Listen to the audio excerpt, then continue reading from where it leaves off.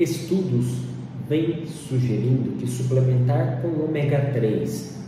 olha lá no rótulo, contendo aproximadamente 550 mg, miligramas de, DHA e 280 de EPA,